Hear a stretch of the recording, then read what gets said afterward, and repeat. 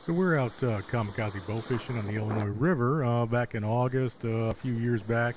Beautiful day out. We're smashing fish left and right, and um, well, we take a little bit of a break, and we look up ahead of us, and wait, what what is that? So we're looking, we're trying to figure it out. Oh, it's it's a pirate ship. Yeah, uh, not kidding. Uh, a pirate ship on the Illinois River.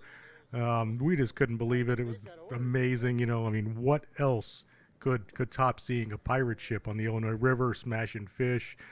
And we're thinking, what's crazier than this? You know, I mean, we're we're out here having a great time, and oh yeah, look, no, no, there's two of them, two friggin' pirate ships.